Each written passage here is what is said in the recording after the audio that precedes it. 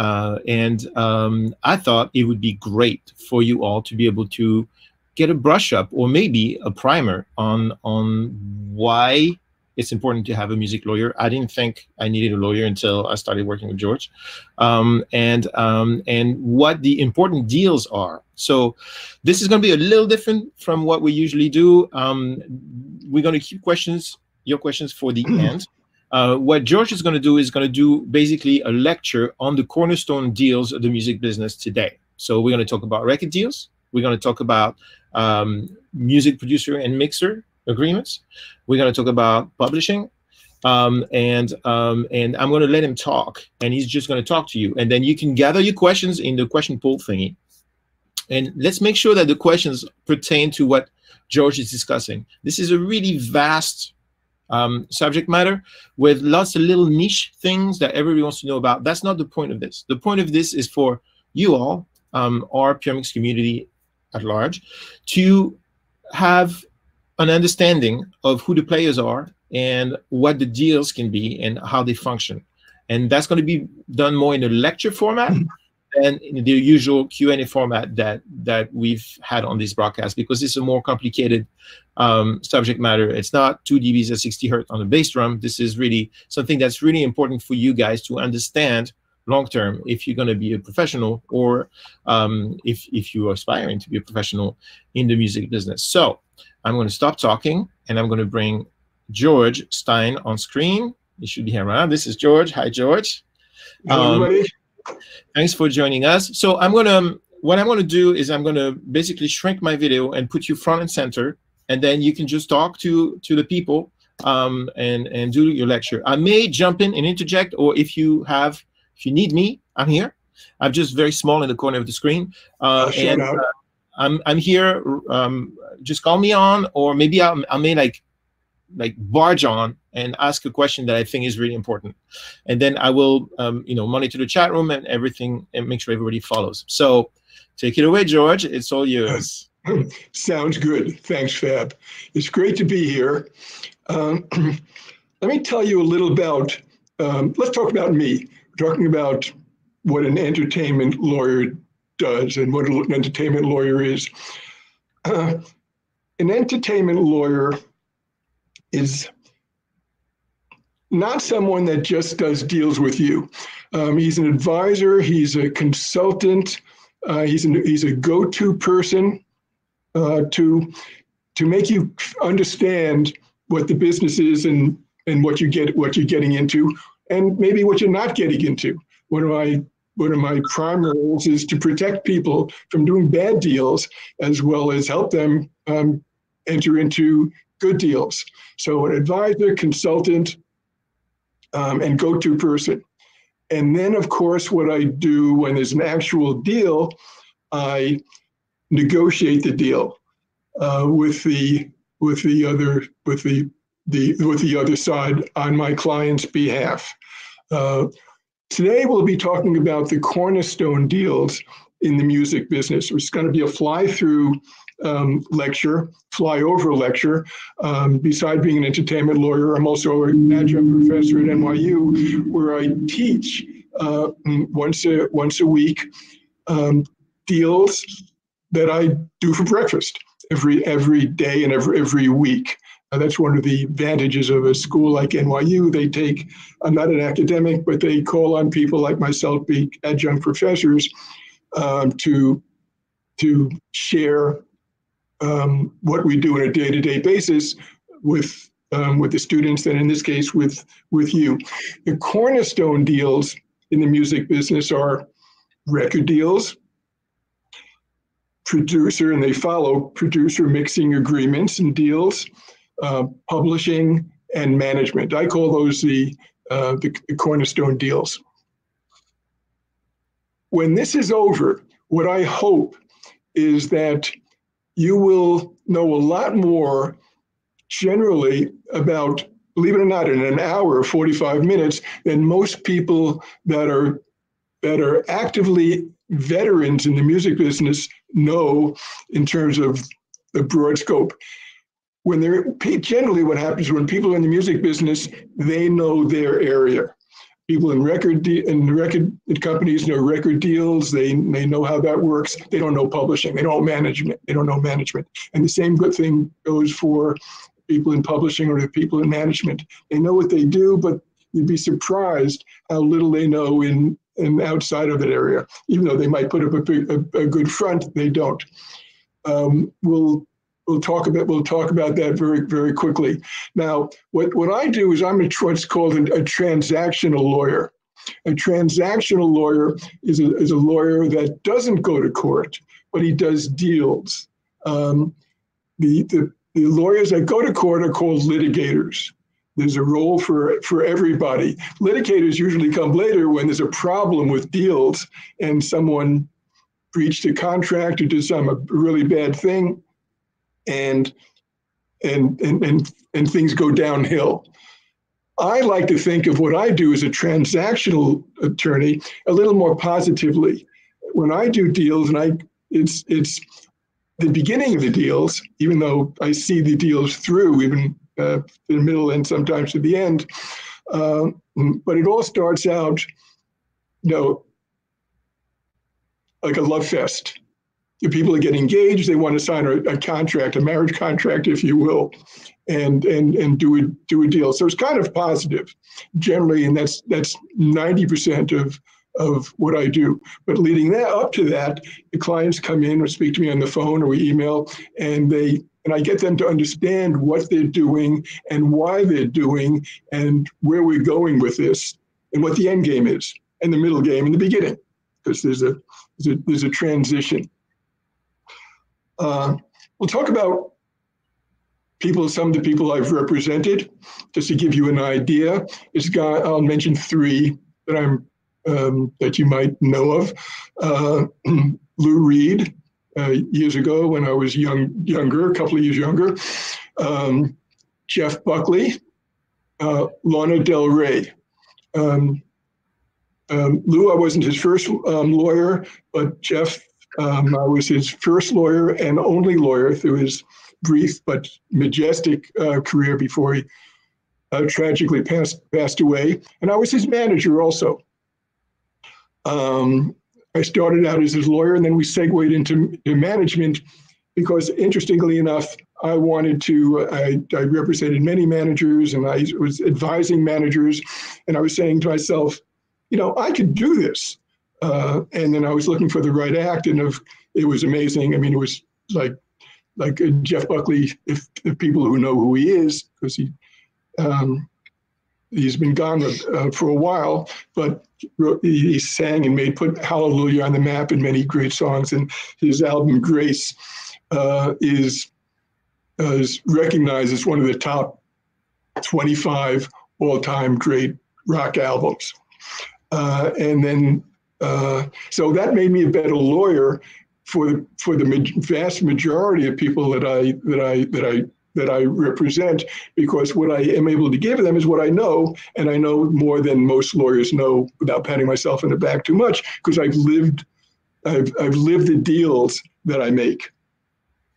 Um, and then uh, Del Rey right from the beginning, right from the beginning of, the, of her career. And let me do as an aside because she's probably watching. Is this young girl, in, in Atlanta called Isabella Maddox. Um, this is a shout out to Isabella that I am going to bat for her. Now I'm on the now I'm on the record. Okay, let's talk about let's talk about deals. Record deals. Record deals is the, probably the cornerstone of the cornerstone deals. Uh, even though you don't have to have one these days, it used to be the record companies were the gatekeepers. Um, the good news is now anybody can put out the record. Before, if you wanted a record out there, you really needed a record company. So the good news is that everybody can put a record out even without a record deal. The other side, the bad news is that everybody can put out a record. It's um, the, the, the flip side of it. So there's a lot of noise out there.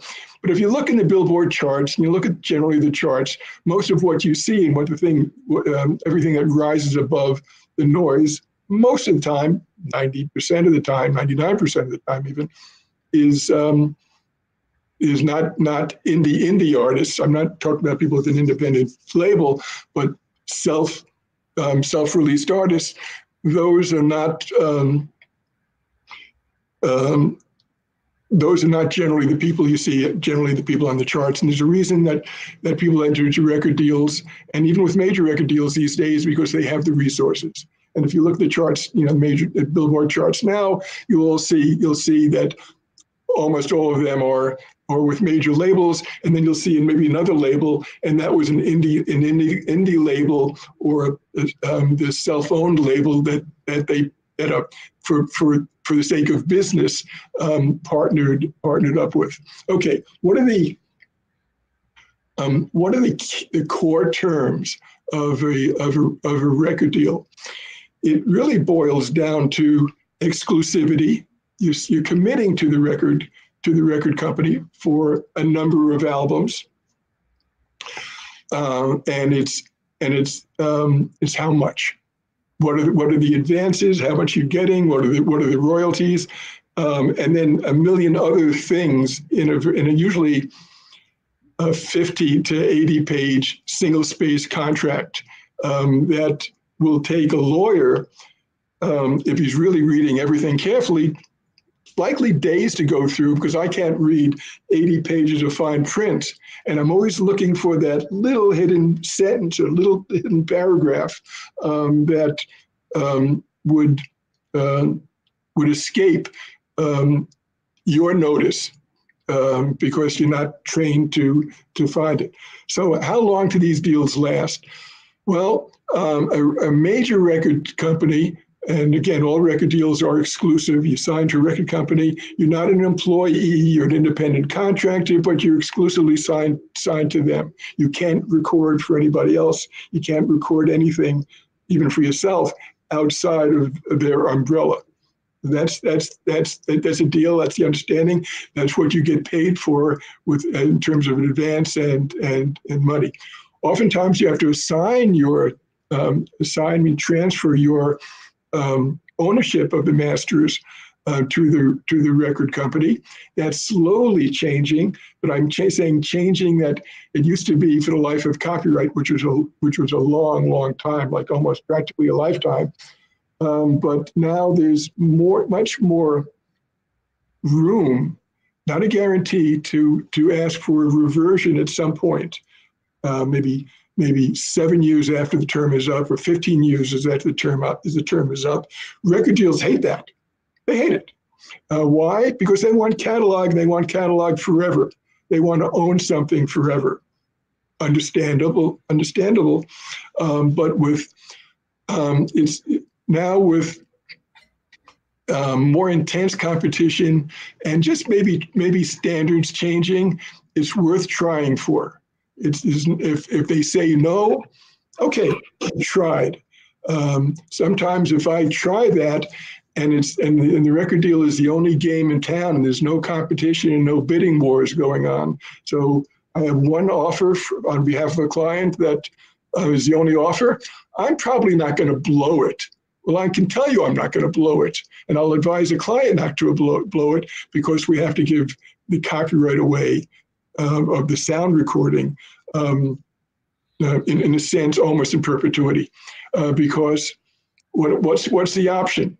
Um, you have a chance to swing and, and go for the bleach and, and swing for the bleachers um, or you might you know you know take years to find something else if ever. And you know time is precious. Um, there's a there's a window usually for for artists. Um, youth is important you, don't want to be looking for your, you know, for your for your big deal with a major at that that, that in your 30s or 40s. It's really a young man and woman's game or young band's game. It's just it's just it's just a fact of it's a fact of life. Okay, so how long is long in terms of what is the contract? Um, how is it how is it structured? Usually, it's a guarantee not of years, but of, of, of a number of albums. Uh, and typically, it'll be five to seven, which will show up. The record company will want seven records. They want the, the longest commitment possible. They want to lock up the artist for seven records. Uh, and the artist it's really in the artist's interest to keep it as short as possible. It's a little, little counterintuitive, but shorter is better because if you only have a commitment to five albums and it goes to five albums, you're a success. And at that point, when there's a new contract to be negotiated, either with that with the original um, um, record company or the later record or the or another third party record company, because you're free to you're a free agent to do a deal with somebody else at that point, you are you're you're you're a proven you're a proven quantity. Um, so you really want to keep these deals as short as possible. The record company, of course, isn't just going to roll over. They'll they'll fight or they'll argue, not a fight. Um, but it's kind of a little bit of a game. Um, and sometimes you meet in the middle and you say, I wanted five, they wanted seven. Okay, six six albums. And I'll know that if he's if the artist is a success, um, then after two records, I'll be able to renegotiate. And you ask why can I um, why will I be able to renegotiate when I when I when it looks like I have a contract locked in? Because the reality of, of these kind of deals is that the rec- that you've earned the right to ask for a higher royalty and more and bigger advances and more creative control. Uh, because you're you've proven yourself and you're making the record company record uh, money, and everybody's fat and happy. But the record company is now looking to keep you happy, and if you're and if they're looking to keep you happy, that empowers your representative, your lawyer, empowers me if I represent you, for example, um, to go back and say, listen, he's, she, he, they, they've proven themselves. They're making you tons of money. Let's renegotiate.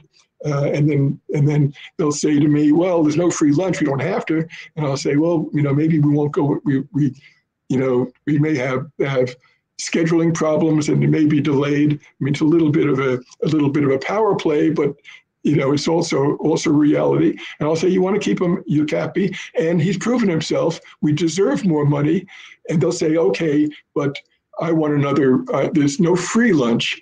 Um, I want another. They'll say, I want another. Um, if we did a six album deal, I want another album tagged on, and so that way they get they get something and you get something, and everybody goes away goes away satisfied. Now, when I talk about um, um, five to seven album deals, that's not a commitment that the record company is is, is making. Um, that's what they if they is is bro- the record deals are broken into options for them, not your option to continue. You're locked in if they exercise their option if they want to continue. So you start with a commitment of of typically of one record. They don't have to release it if they don't like it, because there's a pay or what's called a pay or play clause. Well, like if they don't decide to play it, put it out, release it, then they'll they'll pay you something that's built into the deal, and and they they they dropped you. You've heard that expression. The the artist got dropped, the band got dropped, and the the um, is over. But you're also free. You don't owe them future albums. But if they exercise an option because they like what the first album did, commercially, where they did, oh, and, and the second album, the third album, and every after every album, they have a window, a period to exercise an option um, to to continue on to the um, to the cap, which is either five, six, or seven seven albums. With indie labels, um, it's usually it's usually shorter. It's two, three, um, four albums. Um, just the just it's just the way it is. They don't have the clout to demand as much. They don't have the they're not offering as much because they don't have the um, um, they don't have the, the checkbook to write those kind of um, big checks. So you do kind of small you do kind of smaller deals. Uh, what else goes into it? Well, talk, we talk, that was that was talking about the time. Uh, and these deals can go out. Can you imagine if you go out to seven albums? I mean, it could be a year, year and a half, two years between albums. So it's a seven album deal. It could easily be a 14 year contractual relationship with the with the with the record company. So just know that these are these are long term deals. You can't do these deals by yourself. Um, you'd be foolish, a fool, um, to do it by by yourself. And you never want anybody to say to you, and this is a this is something you should always remember. When anybody says to you, "Well, this is standard," especially when you're doing these cornerstone deals, it's nothing is standard. There's nothing standard. And if they if anybody says take it or leave it, this is our standard deal. you really have to um, you have to leave it because you're you're asking for misery um, for yourself and, unhappiness, and and any legitimate um, company that's trying to do a deal with you knows what it it what it what it means to an artist to sign, uh, knows what a commitment it is, because you really may be committing your youth, your best years um, to this label, and will be willing to neg- negotiate. So, and then these deals, I'm not talking about an overview, but there are literally, you know, hundreds of things that can be discussed in these these deals that go beyond the most important things we're talking about now, which is how long and how much. Another important issue, it's it's it's, it's lower than that, is creative control. Do you who make who who chooses the singles? Who chooses the the the, the music? Um, well, uh, again, this sometimes goes off the off the contract. It depends on your relationship with the label. It depends on your relationship with the A and R person that signs that signs you. But you have to recognize that the A and R person that signs you may not, or that brought you in, may not be the record A and R person you have because people come and go. Um, they quit and let go on to other uh, other jobs, or they get fired all the time, and all of a sudden you're left with a new team. Um, or a new liaison, new key, new key player. So um, while personal relationships are very important going into the deals, understand that those personal relationships may not be there um, in the in the future for those for the reasons I just I just mentioned. Um, so creative control, when I say it goes off the contract, is that you can have a handshake and an understanding that oh you have you have full creative control. In, uh, but you have to get in writing, and it's almost impossible to get in writing. I um, um, I can't get into too many, you know, particulars with names, but one of my clients, um, named clients that I mentioned earlier, had had creative control, which was unusual, and even that was like kind of a handshake. It was it was mentioned in the contract, but I had the commitment from the record company president that um, this was going to be special special project with this for a special special artist, and that that uh, and that artist would have creative control.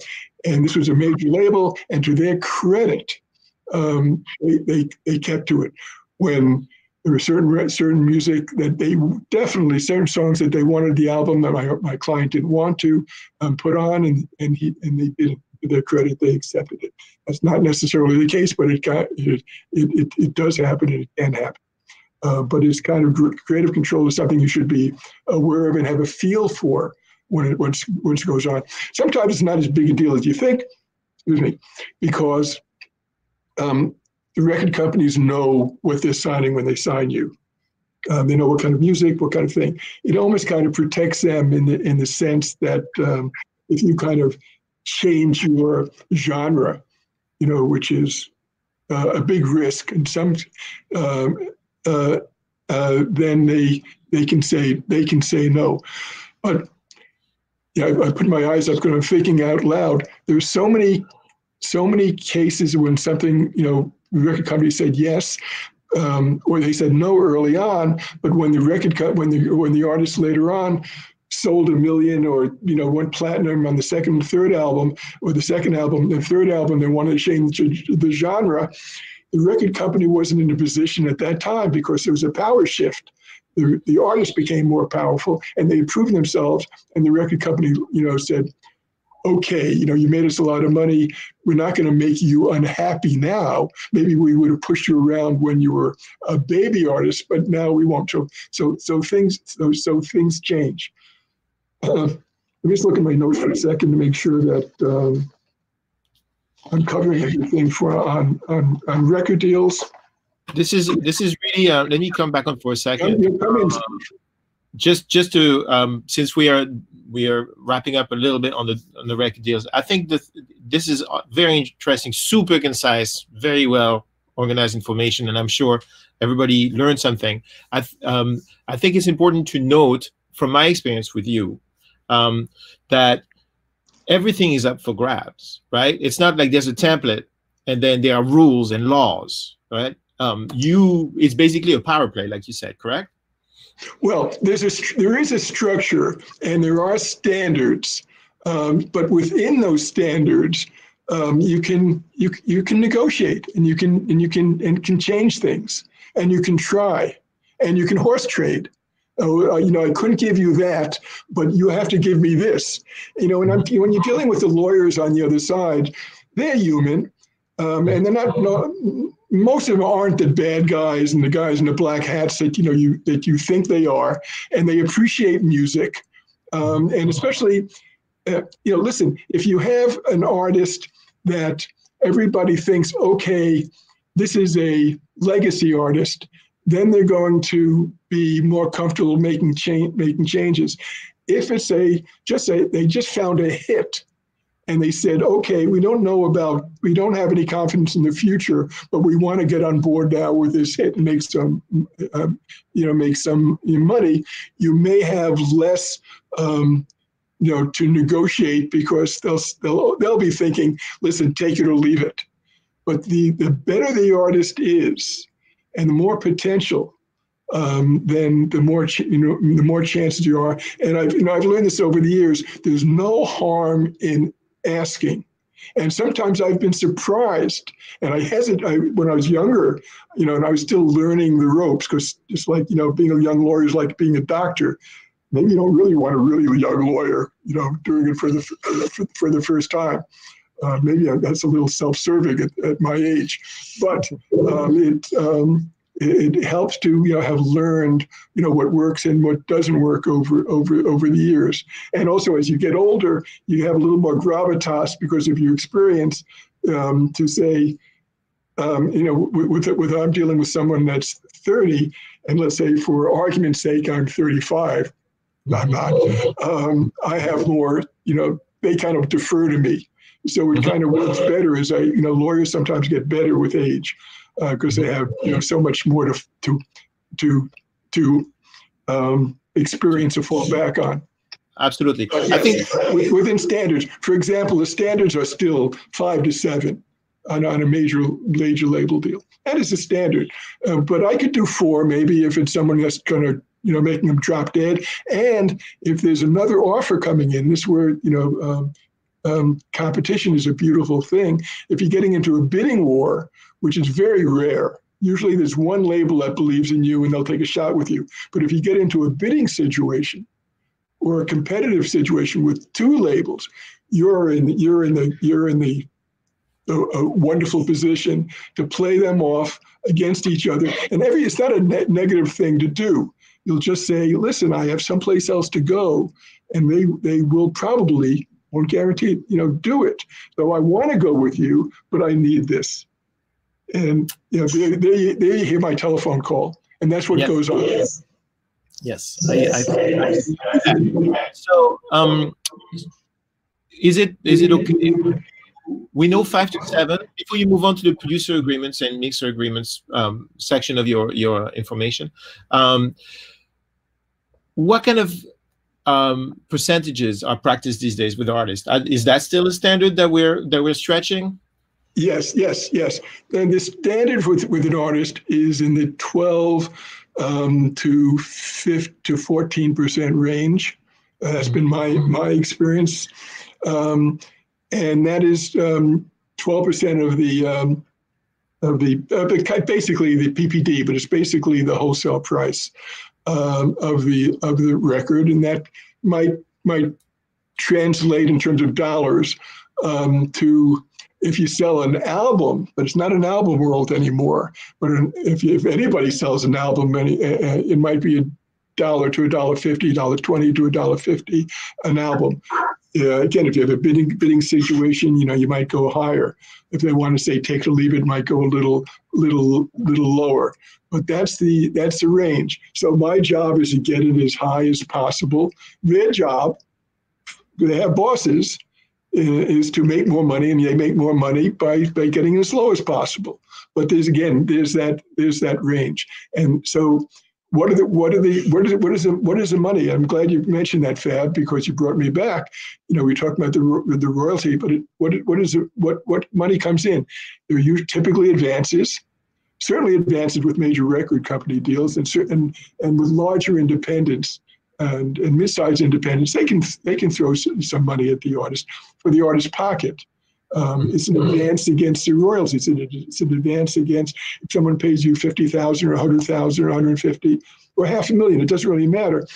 Um, you, you, get it as high as you can and whatever the market will bear, but that's an advance against your royalties. So the, if they pay you a hundred thousand dollars, the first hundred thousand dollars of royalties that comes in is the word of art is recouped. The record company recoups it and just pays themselves back. Fair enough. They gave you an advance of your money. Now, if they drop you, this is this is one of the beautiful things. I mean that um, that one one of the major things that goes the artist in the artist's way. If they drop you, it's very important that these advances be um, be non-refundable. And since most artists get dropped sooner or later, and unfortunately mo- most of them do, so really the the um, the amount of artists that sign to labels that don't see it through to five or six or seven are most. The vast majority, 95%, 97%, don't make it through. So they, they, they make it through the second or third because the record company believes them, or their first, or those records do well. But as soon as, as soon as it slides down and it's no longer profitable, then they're they're out. The record company can be heartless that this way. It really is a business. Um, as much as they, whenever the record company talks, please um, be be be wary of the word family. You know, well, we're family. You're not family. You're not family. It's a business. You'll be dropped like, watch this, like that. Um, if when it's when they decide that it's over and it doesn't make monetary business sense for them. So, you know, you try and keep good relations with them. You make friends. You know, yes, you go out to eat, you go out to dinner, you go to weddings and bar mitzvahs and things like that. But really at the end of the day, it's a business friendship in, in those kind of in those kind of situations. Not all the time, but you know, when you hear family, don't take it at face value. um, so, so okay, I'm sorry. This is this oh, is so great. Advance, advance and, and royalties, and again, with success, you can bump those up you don't have to like get out of the deal to, to bump it up. So if I if I if I go platinum, my artist goes platinum. I, I personalize it. If, if the artist goes platinum at um, on the second album or the first album, the second album, the third album, at some point I will you know weigh in and say, listen, I signed a so-called baby act with you, but it's not us. This is some baby. You know now it's a it's a big it's a big big you know 100 you know 150 pound 200 pound hitter. Um, I want to renegotiate. And again, I want what, what is I want better royalties. I want you know more creative control. I want uh, a bigger advance.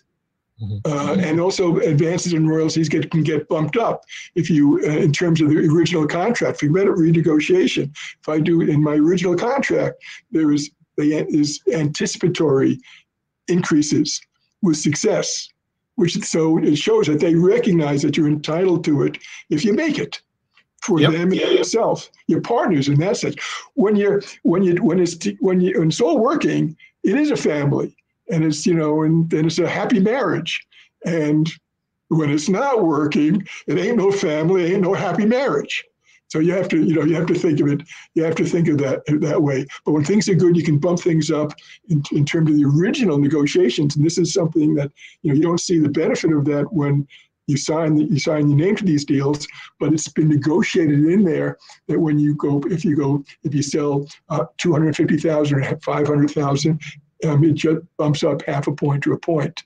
Um, and the same thing with the advances, another $50,000, another $100,000. So the deal that you end up getting paid under is not the deal that you originally signed, but it's part of that deal you originally signed that just improved because you pre-negotiated that. Okay, thanks, Franz. You're, you're welcome. I'm going to shrink myself, and you can move on to uh, your next producer in in mixer. Yes, let's go and producer and mixing because they say okay, you signed you signed your deal. Oh, let me talk about indie. Let me talk about indie um, indie labels for a while. There's also a new model. There's another model. It's not so new. It's been around for many many years, but where a record company, an indie label, um, can pay can afford to to pay you uh, and maybe you want to go the indie route because you think maybe it's more of a family. You know, I personally like major labels because I think my, you know, you you want to you want to go for it, and um, you have you have um, while it may you maybe feel like more of a family with um, with smaller labels, it's also you know it's, it's a fam it's like family resources. The um, it's not a they don't have the resources to market and to promote your your record. Uh, so oftentimes they don't even have enough money to pay you a livable advance. And you know, once you're an, when you're an artist, you know, livable advance is important because you really have to quit your day job. You can't you can't uh, go on tour and have a day job. You can't go into the studio for you know for months on end and have a day job. Um, so you have to be able to afford to do it. When they can't um, pay you, like like sometimes indies can't. They do a different model, so they don't. They become part real partners. They don't pay you a royalty. They pay you. They and then they pay you. They split it 50-50 with you. They'll say whatever we can't pay you, or we can pay you something very modest, but we're partners. Um, will um, all the all the all the money that comes in instead of you getting 10, 11, or 12, or 14 or 15 percent. Now you're getting 50 percent. Well, that sounds great, but it's 50 percent of a smaller pie because they don't have typically they don't have the resources um, to get you to the, that high level. But there's something to there's something to be said for it. What they um, uh, what comes off the top. So it's 50-50, it's 50-50 after they recoup the expenses. You're not asked to make the record, not asked to go into, into the studio, um, but you, um, so it's recognized that they will lay out money. They just don't have the money to necessarily pay you. But when money starts coming in, because some, there are record sales, um, and streaming and so forth, they will pay the first monies uh, back to make themselves whole for what they laid out, and then it's 50 50. Um, you got there's one thing to watch out on on it. Um, and one of the kind of the rackets I've always thought on on major deals is that when you um, uh, you know what's recoupable, what the record companies pay recoup from you, they recoup all recording costs. So while they lay out the recording costs in major label deals, you success, the artist pays for success. And this is kind of standard um, and hard to break. It may not be fair, but just recognize that this is, you know, something that exists, that they pay all the recording costs that they laid out. So you ended up making the, making your own record. With with great success, you can try and negotiate, or with a, um, an important bidding situation, you can negotiate that that they don't they don't pay themselves back 100% that you become partners in a sense and they will they will they, they will pay themselves back 50% not easy to get but i but i but it's something to consider and something to again to try based on your um, um, negotiating power. Now back to the indies. We have to go back and forth again. The indies i said they they um, 50 50 um, but one of the one of the rackets with indies, and sometimes you have to look at the fine print, and I'll say, well, wait a second, what's that? Is that they'll say that the record the record costs are, are, are recoupable from the artist. And my reaction to that is, whoa, wait a second. I thought we were family. I thought this is a 50-50 deal. We were splitting everything 50, but now I'm finding that, you know, with, with success, I'm paying for the record company I'm paying for the record? No, I want, if, if you tell me it's 50 50, I want it to be 50 50 across the board and under, and under the seat, if you will, with the recording costs being split 50 50. Okay. Now I've now I feel comfortable. I've told, told you a lot about rec- record record deals. Now we'll go to producing deals, which is in a sense the next step. You have a record. You have a record to be put to put out um, or you're doing just or you're doing it yourself and you're looking for a producer and and and, and maybe a mixer. Um, and how does how, do, how does that work? Well, it's again there's this there's a there's this commonality to these deals, and the commonality is time and and how and how the producer gets gets paid just like the, the record company, there was a time, five albums, six albums, seven albums, and how does the artist get paid? The producer works for the for the artist. Unlike with the record company, it looks like the record the artist works for the record company. Um, the, the the artist hires the producer and, and the mixer in separate deals because usually usually they can be separate individuals if the producer isn't a producer and a mixer. Um, and your question is how how much do they get get paid? And we're flying through this. They get paid. There's a standard on on rock and pop. Producers get three three points um, three points is just another word of three percent of the same of the same kind of royalties that the artist that the record company pays the um, um, the producer. And the contract will say if there's a record deal, we um, will pay the um, the artist through the record company. Um, the artist is the deal is with the artist with the with the um, with the artist, but then the artist instructs the record company to pay the producer based upon the, the, the, deal points. And the deal points is if the artist is getting 12 points, or let's say 13 points, the producer, the artist directs the record company to pay the producer um, um, three points, and that's pretty standard in rock and pop. It's more in it's it's it's more in hip hop. Rock and pop, it's it's um, it's um, um, three points. Sometimes, but more and more you can go you can go to four with a with a with a big producer and you know and they really are they that, that artist really and the record company really wants you. You can go to you can go to five. Three is still the standard based on the same um, computation of royalties that's in the that's in the artist record deal there's one exception and it works very well for producer and mixers is that while artists make their um, their royalties only after recoupment of recording costs um, the artist, uh, and then it start they start to get paid, get paid, royalties. With producers, tradition, you, would think that it would be same. They get paid from record one after the recoupment of recording costs, uh, and so um, that's a that's a great benefit to um, to the producer. Now, uh, let me just um, talk about the bigger picture of royalties. If the artist gets 13 points on his deal, let's see how the math will work out. I'm making this a simple deal. Um, that's called the all-in deal, and it's recognized that out of the 13 points, uh, the um, thir- the part of that 13 points will be spent to to to to, to take out to to sign on the producer. The producer mm-hmm. gets three points. Um, the artist then gets the net of that out of the 13. So the, basically, the record company is holding 13 points for the artist, but it knows that three points or a producer's royalty is earmarked for the uh-huh. producer. Uh-huh. So um, the artist doesn't end up getting paid 13 points.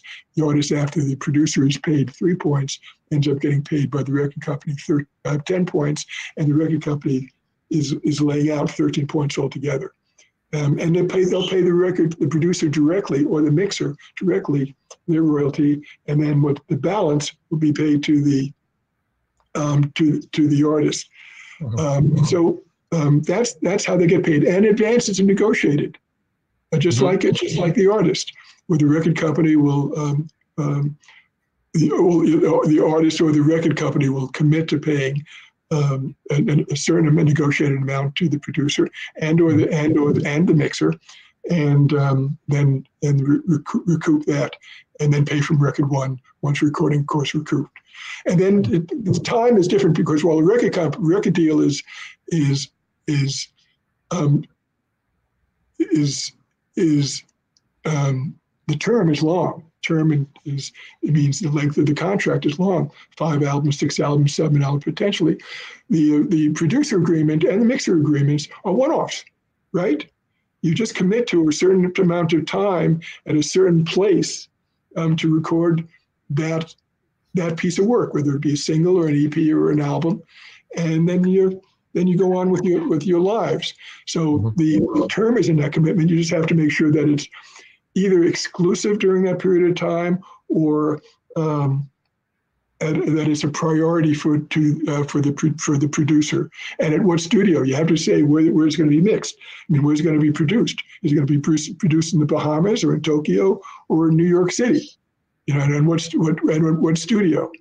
Um, mm-hmm. So there's there's the time frame and there's the money. And the mixer is the same kind of concept as a producer, but mixers get um, get um, get less. Typically, the standard is about is about a, is at a point with the same um, retroactive to um, record one, but the same issues and same questions. Where is that mixing going to take place? You know, usually that can be you know maybe off site. The artist mm-hmm. doesn't have to be there, um, so maybe it's a little simplified, but mm-hmm. Um, that's producing. Mm-hmm. How are we doing for time? Okay, we're doing, we're doing great. I have, um, I have a couple questions that I think are going to resonate with um, with the crowd uh, because a lot of the people here are um, are going to be producers and mixers because um, this is puremix.net, you know. Um, so um, the um, first, it's important to know that a lot of people don't know that what you just mentioned, the the the percentage from that goes to the producer is actually um, taking away from the artists. Correct. So that that creates a certain dynamic with the artists.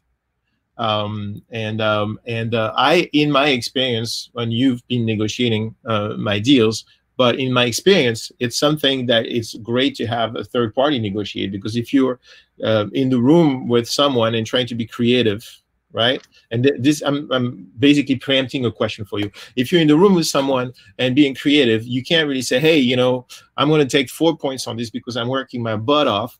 Um, so that means your share is going to be four points less from already a pretty meager share. So um, it's really it's a very difficult situation. So it's great. It's been great for me, just so the guys know, guys and girls know. Um, I know you for what 15, 20 years, 20 years. Um, and we I was an artist and I was like at music conference, you were at a music conference, and then we we hit it off. Um, and um, and then I didn't hire you for 12 13 years. We just kept in touch. Yeah, and and um, for the longest time, I just couldn't bring myself, and this is where my question comes. Um, I couldn't bring myself. I, I just told myself, I I don't need this. I'm, I have an agreement with this person. We understand each other, and I never I never got screwed, you know. Uh, and then things happened uh, where I got screwed.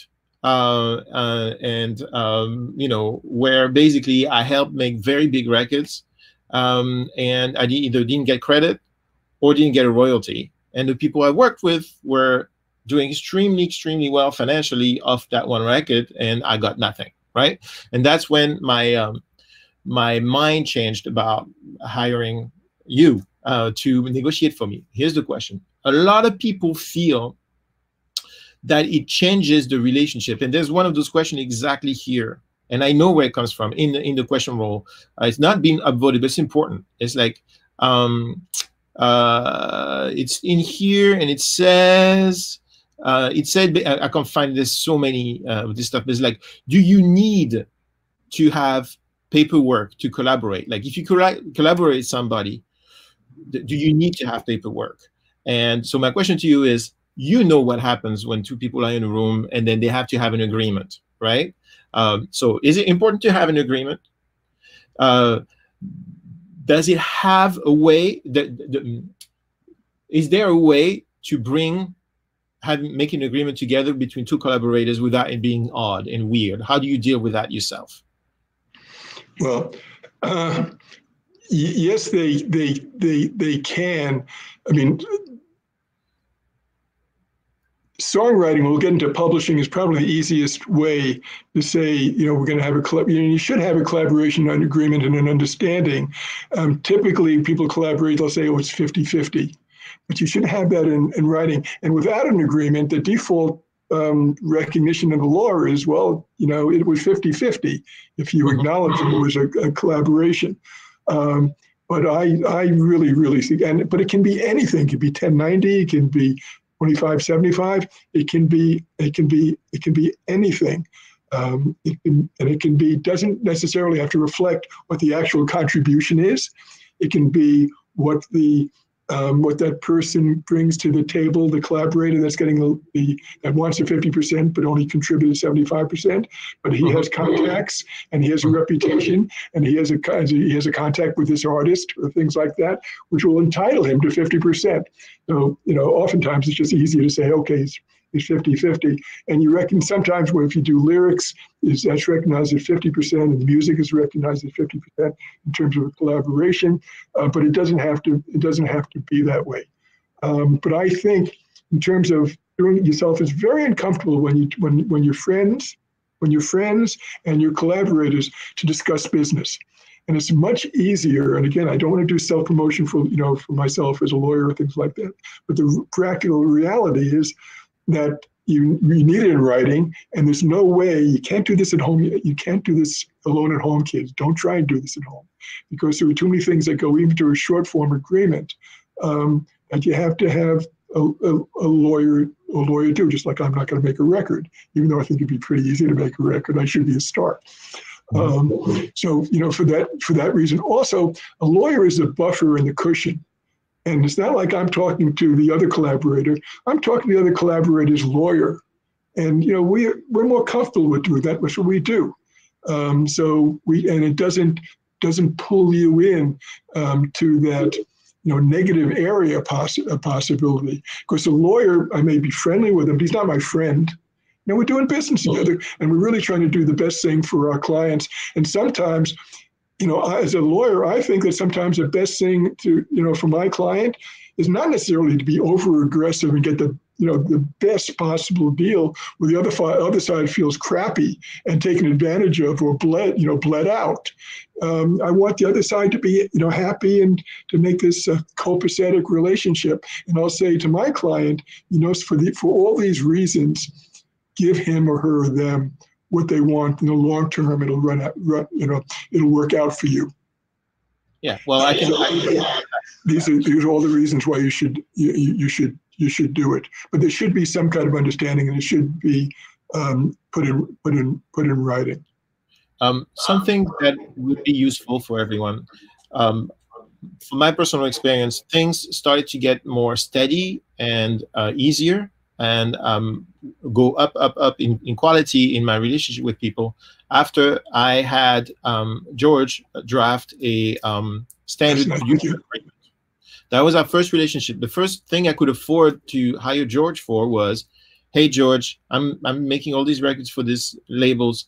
There's not enough money in the in in the budget for me to hire you on everything.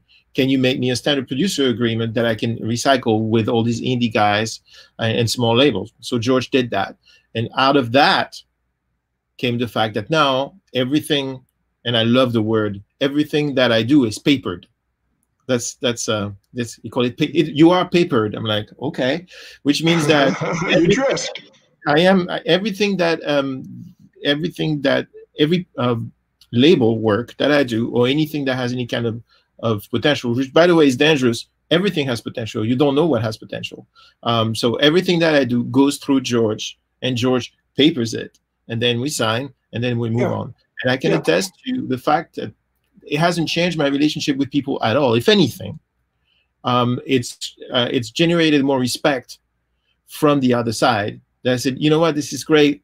You should talk to George, and um, and it's been great. So I just wanted to I wanted to to reassure the people here that going through um, um, a lawyer such as you um, to basically let's, let's call it a way to confirm that everybody agrees um, is a very healthy thing to do. It doesn't have to be insanely expensive, and it's very necessary. Um, and it's a great stepping stone into the future. If I had called you on those two or three records that I did that went boo, um, my financial situation would be completely different um, than it is. What right learned. Now. Yeah. Well, thank exactly. you, Fab. Okay. Um, thank you. Fab. makes you know makes everybody able to relax when you get it when you get it you know when you get it papered as you as you as you put it in writing. Yeah. So and you don't um, have to and you don't you know and you don't have to you know change relationship. You don't have to go into difficult areas with you know the person you you're stuck in a room with for you know a month. Yep. So let's um let's make sure that um everybody can hear you talk about the publishing side of things because I think that's yeah, really very important. Very important in terms of you know um, um, what the, what the deal is all about, what, what the music business is all about. Publishing is is is getting more and more important. Is, is key. Um, what is publishing? The publishing is the control and administration of of, of a song of, of music. Uh, and initially, who controls the song? and who administers, which registers a copyright, does the deals. It's the writer. The, the writer writes a song. He's he's he's legitimately the publisher. Publisher. He's self-published. He controls the song. It's his piece of property.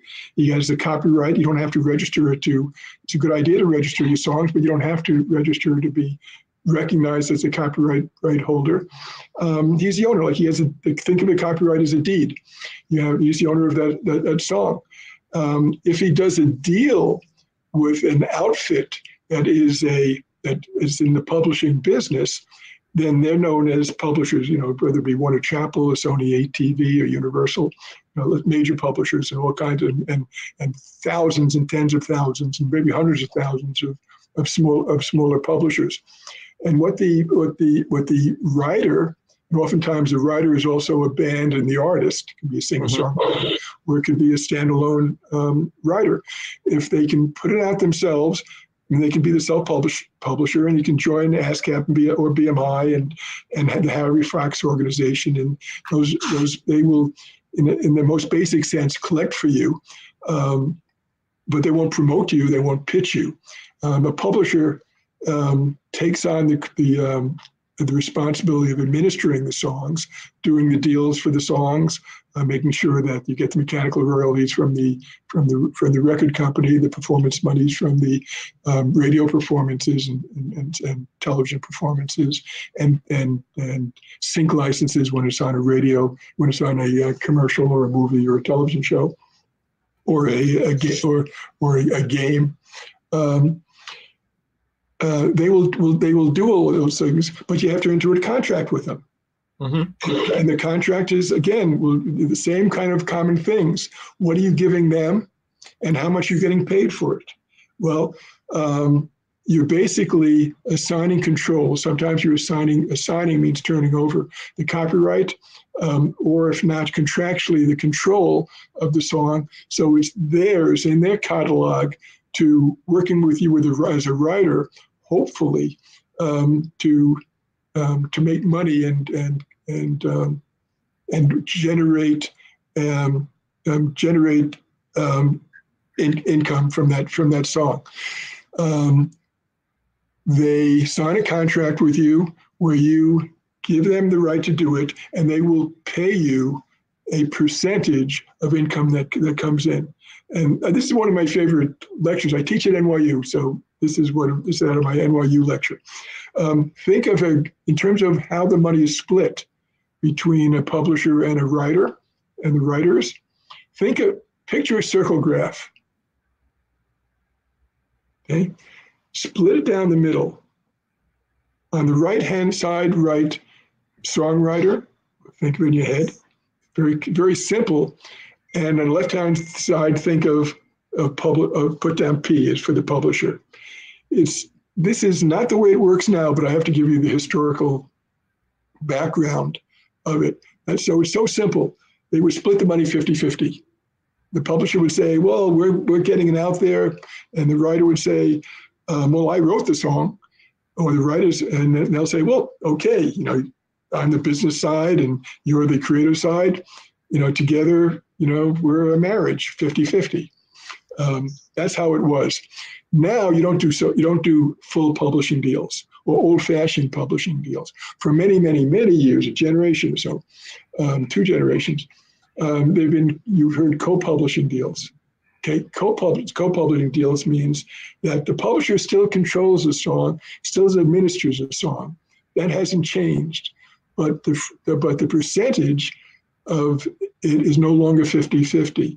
You take what was the, the publisher's side, which was 50%, and you cut that in half and you make that half into two quarters. And the upper quarter is called P for publisher, and the, the lower quarter of the publishing side is goes into the, is called SW songwriter. So all of a sudden, the, the, the, the songwriter, besides getting his 50%, that's sacrosanct, that's sacred. As a, as, a, as a writer, now that writer is getting a piece of the publishing income.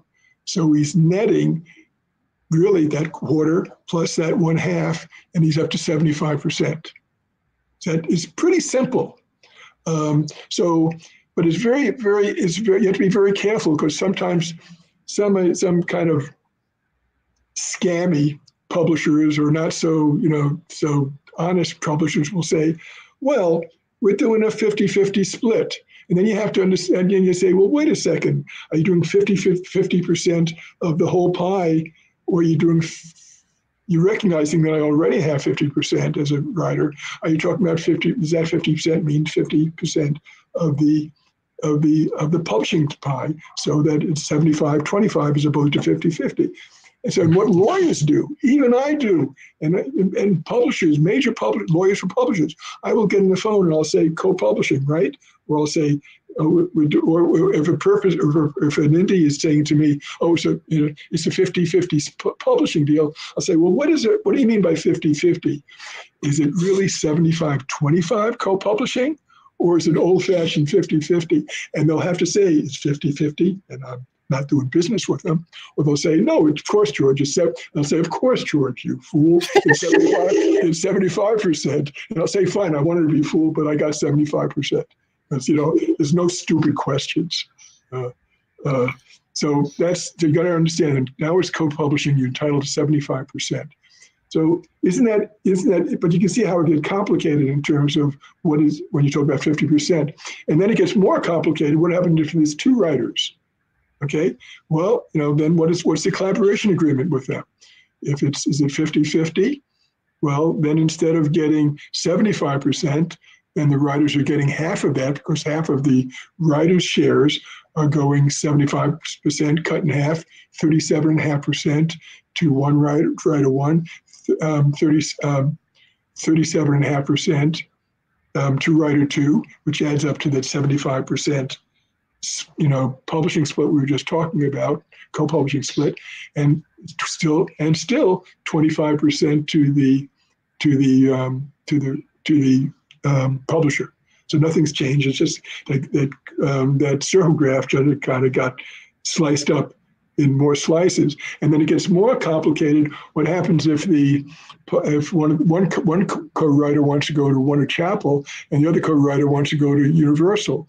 Well, then the whole pie becomes two pies, and the writer is giving 75 25 to um, to to Warner Chappell, but he's only giving half of the half of the gross money, and the other writer too is giving 75 25, but instead of being a, a 100% coming in, it's 50% coming in, controlled by two publishers that really then have to cooperate and coordinate in terms of administering that song. And then there's an advance. You, you hopefully, especially with major publishers, you want to get, uh, you know, a, as big as possible, you know, in the five figures, in the six figures, um, or more you know, if there's a competitive situation and and maybe you know this writer, you know, you know was self-published and and had a huge hit, and now is looking for a publisher and has so much money coming in that the publishers can can say, well, I can afford to pay you it, and look what you've done, uh, and um, you get the biggest biggest advance possible, just like you would from a record company. And again, that's typically recoupable um, from um, um, from monies collected by the by, from songwriter monies collected by the record company until they've recouped what um, they paid you as an advance. And then and if they drop you again it should be a non-refundable. And all these deals when he says advance your lawyer should be saying such a simple thing. Oh advance right before advance i'm going to say non-refundable advance so that you don't get surprised when they drop you and you and you're in the red, and they'll say, "Well, wait a second, it says in advance, but it didn't say, you know, didn't didn't, didn't talk to whether it's refundable or, or non-refundable." And everybody understands that it should be non-refundable, but you have to clarify it. So important. Yep. So okay. I'm, I'm going to jump in. Um, I don't want to interrupt. This is a good point. Um, I think there are some questions that are really important um, that a lot of people are confused by, and I wanted to hear the answer from you. Um, the can you explain the stark difference between a publisher owning the song and a label owning the master? Because a lot of people are confused with that. They don't know what what a publisher does versus what a label does.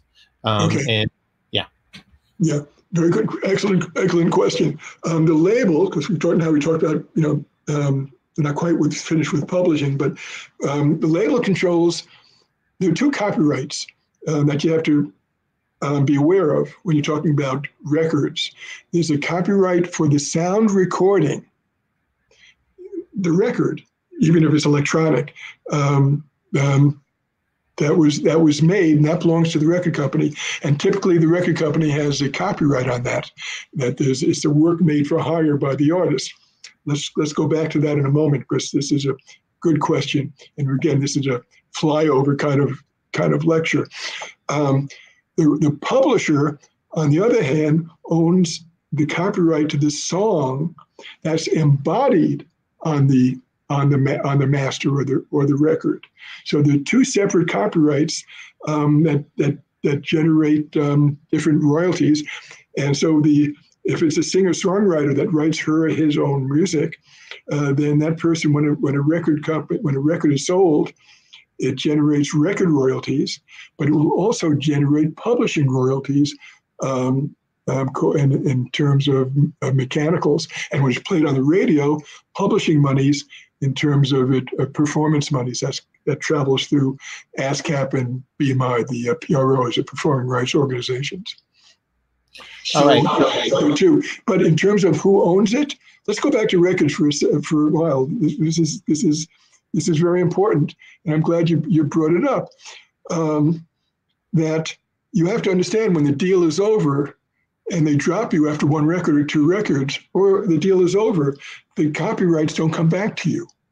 The copyrights stay with the owner of the copyright, which is typically the record company. Now, more and more, this is really changing rapidly, you know, and, and Taylor Swift kind of really brought this brought this up, you know, recently. Um, there's been pushback on. Wait a second, why does the record company own it? Well, the record company owns it because they had the power, and that's the way that was just standard. It was, and and the lawyers and everybody accepted it for years. But more and more, and myself included, now we're talking about um, reversions. Very important and a beautiful word for a copyright owner. When does it revert to me? When does it come back to me? In the first draft, it'll be never. You know, it's ours, and you get paid forever pursuant to the contract. Which, when we sell it or it's exploited, and exploited in this in the in the music business is a good thing. It just means you know getting it out there. Uh, it's not exploitation, but exploitation in the, in the bad sense, but exploitation to exploitation in the good sense. But you now more and more, I have no hesitation to say to a record company when I do a deal, and to a publisher when I do a deal, that wait a second, yes, I'm assigning you the copyright, but in seven years, I you know I want this back.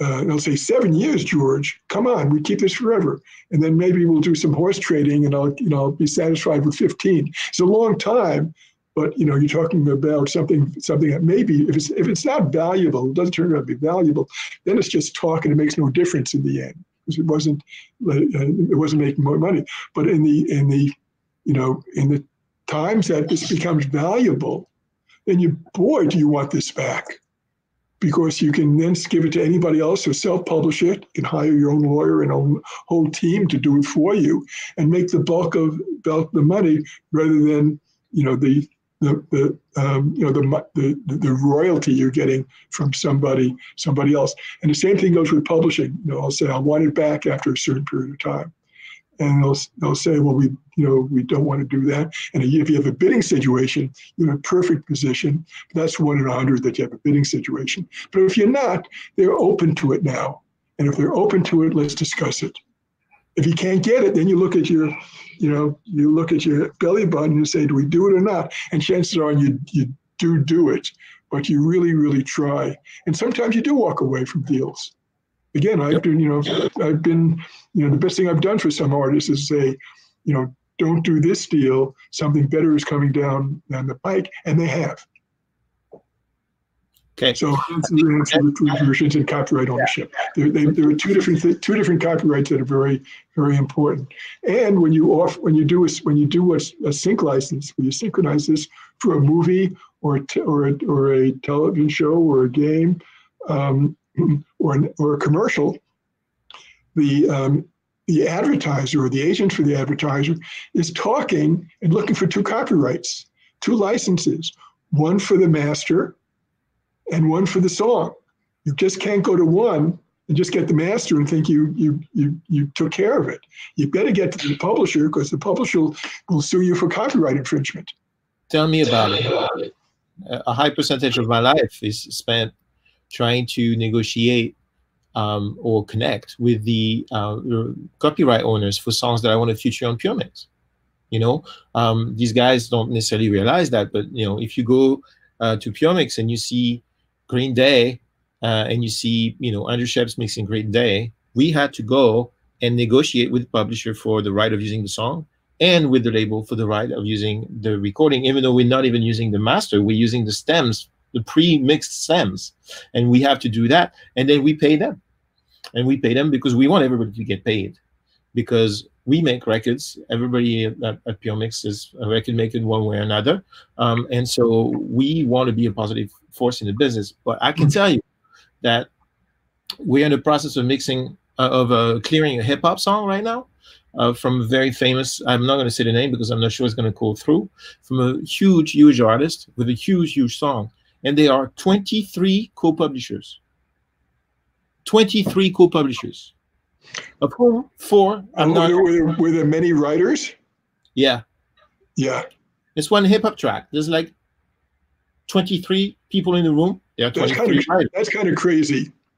It's insane. It's insane. And so uh, it is a complicated world. Um, so I have a, a, question for you that I think people um, are really a lot of people are fuzzy about the role of a publisher.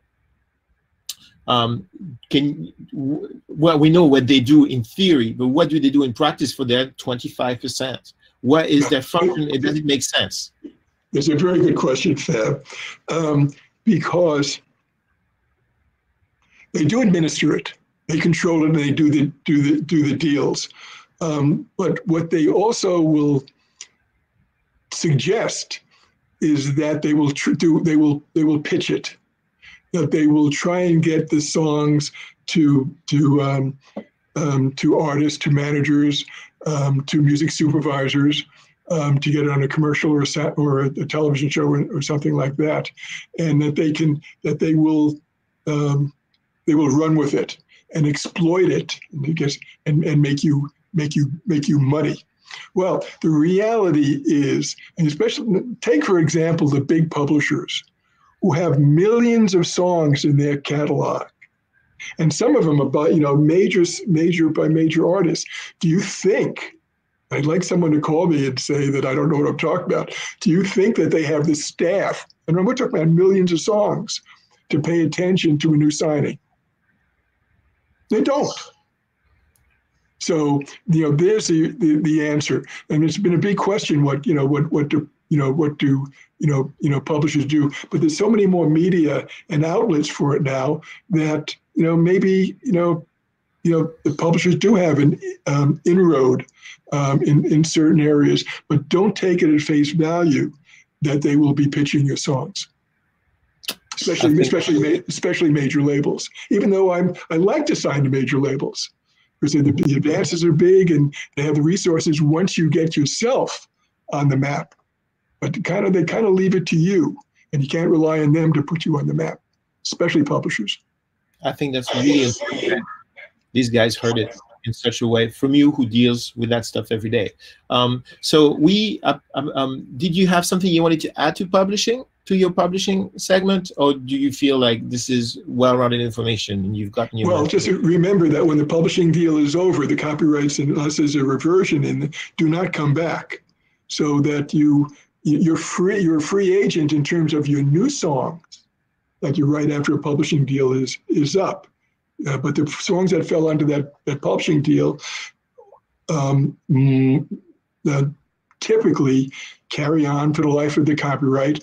And there's a 35 year old, there's a 35 year uh, reversion that will allow you, if you follow certain protocols, um, to get it back. But 35 years is a lifetime or half a lifetime. So again, you can't really count, you know, look to that as, um, and that's to prevent people who signed, you know, as as baby as young as young writers, and all of a sudden their songs became um, um, um, you know, um, evergreens, as they call it, you know, mm-hmm. legacy songs, um, to you know to get to get more benefit out of what they really sold on the cheap early on. Yep. So, but even that gave, gave publishers plenty of time. Thirty-five years is a long time. Yes, it is. Um, yeah, and we hear lots of stories from you know big legacy artists um, to um, that are fighting to try and get their property back.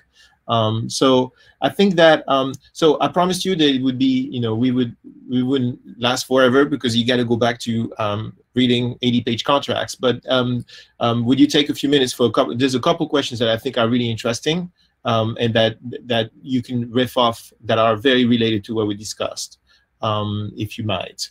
The, the first top questions that we actually answered organically in our discussion. But the third question is this, check this out. If um, I don't know who wrote it. I want to give credit to the writer, but the system doesn't let me. Um, if I send an idea of a song to a producer or a songwriter and they steal it, can I do something about it? Well, I don't know what an idea for a song is. You know, a song is the ideas are not copyrightable. So if you're saying a, an idea about, you know, such and such event or something like that, and you say, oh, you know, write about the virus, for example, something like that, it's just pulling something that's so current. Um, you know, that's nothing that you can protect. So I concepts, if the key word was idea, not copyrightable. It has to be um, um, um, in place and more concrete. It has to be has to be notes. It has to be a song, not an idea for a song. Okay, that's very because a lot of people are confused about that. Um, an artist I'm working with myself uh, right now was super confused about that. He's like, I can't. We have to have an agreement um, before I give you my ideas. And I'm like, um, fine, but um, I'm not going to work. Actually, I'm probably well, not going to work. See, though, that that kind of thing is dangerous, and that's so that's so great because what happens if he gives you the idea?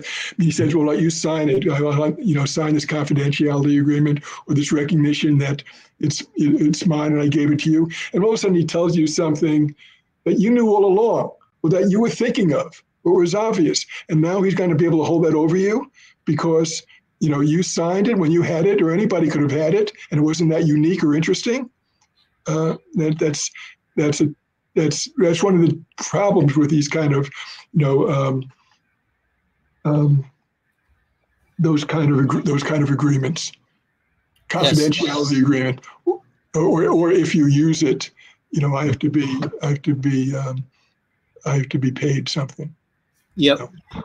It, you, need a lawyer uh, to tell, you need a lawyer to tell you. It's just such a simple answer. Um, so, and a good question, a good question, but a very simple answer. Mm-hmm. All right. So we, while we were running um, our discussion, um, there were two polls, and uh, the first poll was, and then people in the in the room could uh, answer, you know, click yes, no to the poll. So I, I started the first one and said, statement. I've hired a music lawyer or entertainment lawyer to draft a contract for me before. People who answered yes are 20, 25%. People who answered no are 75%. Um, and then uh, to the question, do you have a standard mixing or production contract? Um, no is 83% of people don't have a standard mixing or production contract. Um, a lot of people are worried about the cost of such a thing. And I think um, you can speak to that, but the I think that the cost of not having one is way higher and I can speak in person, that the cost of me waiting so long to hire George to make a standard production agreement for me was way, way, way higher by a factor of hundreds, if not thousands, than the cost of not having one. So um, a lot of people are really worried about the costs of hiring an entertainment lawyer, undermining, uh, basically taking so much of the small budget that he can't afford to work with people like you. How right. do you feel about that, and, and what's what's what's your answer to that? Right. Well, I won't commit and go on, you know, and go on tape and saying that I would charge this or that. I, I, won't do that because every everything is, you know, different in terms of who this person is and what level they are at, um, which I pay attention to, uh, uh, and what the particulars um, particulars are. I can't tell you that I charge an, an hour. I can charge hourly, or I can charge, and and the hourly can be you know, my, my standard hourly rate is fairly expensive um, because I'm, I'm ex- experienced, um, but I'm also flexible. Uh, so, and sometimes I just always say a flat rate. But uh, listen, if, if, it's, if it's an established person comes to me, I should be charging more. I also know that person could um, could um, uh, can pay that. Um, if if someone is fairly new and is quote struggling, I have to take that into account. If I want to, if I want to do, if I want to do the business, I might say no. I might say I can't afford it. I think what I suggest is that if anybody that's interested in working with me or with any lawyer, um, you know, just contact them, explain who you are, what's your situation. People will talk to you on, you know, on the phone, and if they won't want to talk to you on the phone, um, then forget about them. You know, they're not for you um, when someone calls me and my my assistant says there's someone calling and they're looking for a lawyer, they're a, they're a producer, a mixer, an artist, they're looking for a lawyer. Of course, it, it seems so obvious to me. I get on the phone. I mean, I can probably figure out in five or ten minutes. I mean, I'm not the president of the United States, and no lawyer is, and nobody in this business, you know, is. You know, we have we, we, we have time, and we should have time, or you make time. And if you don't have time, you know, to discuss that, uh, then fine, you're not the lawyer for that person. But I think you would find that 90%, 75% of the lawyers um, will, you know, will respond to you. And you know, when you, you know, I happen to have my own practice, um, and I do what I want with clients. But even when you when you're calling, say, a big firm, you know, they have junior lawyers, they have senior lawyers and maybe you'll be, you know, given a junior lawyer who, you know, could work for less and um, will take your call because he's trying to build up his practice. So, you know, you should be able to find someone to talk to them about what it's going to cost. And it's an absolutely, you know, question. It's absolutely a question you shouldn't be embarrassed about. You know, everybody that's in the business knows what the reality is and you try and make you know you try and work it out that it makes sense for you it makes sense for the person that's on the other side of the other end of the call. That's awesome. And i think this is a um, um, a very important statement we, that we can absolutely wrap this amazing hour in a half or hour and 20 that you uh, you have given us. Thank you very much george. Um, okay. thanks everyone for watching. Um, and people um, i hope you got a lot of information from this. I did, and I know all this because I discuss it with George all the time, but I feel like I've learned more again today. Um, thank you. Thank you very much, George. Um, this, welcome. this will be available for replay, guys, for those of you who had bad internet or for those of you who um, had to, you know, go walk your dog. I saw somebody was like, I, I have to go. I want to stay, but I have to go. So um, this will be on PureMix and we'll stay there and you'll be able to go uh, watch. Everybody is like saying lots and lots and lots of thank yous in the chat right now. Thank you, guys. Um, uh, let me, let me um, just add, Fab. Thank you, and thanks, thank you, the audience, for listening to me. I appreciate it. Yeah, thank you, guys. Uh, and so, just a quick um, uh, shameless plug. Tomorrow at 6:30 GMT, which is 2:30 EST, uh, we will have David Crosby here uh, with the Lighthouse Band, who's going to come discuss the um, the making of the last record we did together, which I was lucky enough to be invited to co-produce and mix and record and mix. So um, so if you have nothing bit, better to do, George, you should uh, you should come and watch that. If oh, not, yeah. I'll see you on the other side. Thank you very much. Thank you everyone for coming, and see you very soon. Cheers.